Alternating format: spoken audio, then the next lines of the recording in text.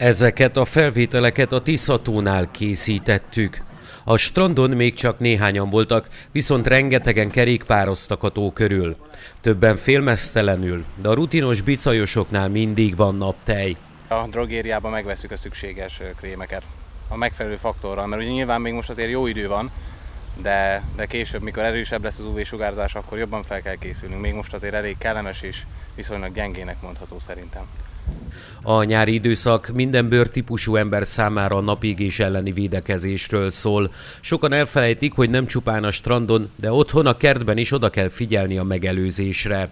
Nagyon magas az UVB sugárzás. Most ilyenkor mindenkinek jó, hogyha bekenni magát. Segítünk néhány tippel, hogyan lehet elkerülni a problémát, de azt is eláruljuk, mit kell tenni, ha rákvörösre égünk a napon.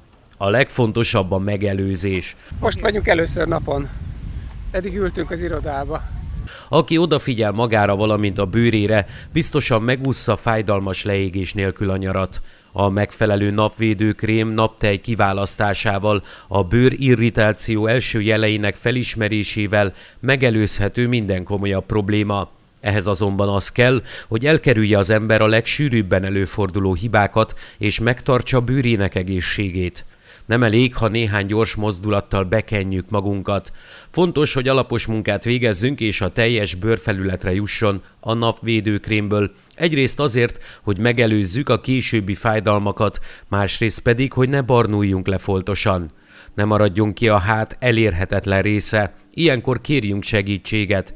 Ne feledkezzünk meg a fülekről sem, amíg a rövid hajtípus és a kopasság esetén a fejbőr ápolása is fontos.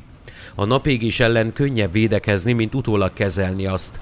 Ennek ellenére a legnagyobb odafigyelés mellett is ez megtörténhet. Ha enyhe vörösödésről van szó, arra elegendő a vízbázisú, napozás utáni balzsam, amely nyugtatja a bőrt és vitaminokat tartalmaz, ezzel segíti a regenerációt. Amennyiben komolyabb a baj, de még nincs hólyagosodás, segíthet a hidegvizes fürdő, valamint a tartós borogatás. Mindig ajánlott a folyadék utánpótlás biztosítása, ezzel a kiszáradást előzzük meg. Nagyobb probléma, ha erős, kellemetlen fájdalom társul a pirosodás mellé. Ilyenkor a gyógynövények, az aloe vera, a kamilla, a levendula és a gyógyszeres kezelés, fájdalomgyulladás és lázcsillapító segíthet. Extrém napégésnél, hólyagosodásnál javasolt egy orvos felkeresése.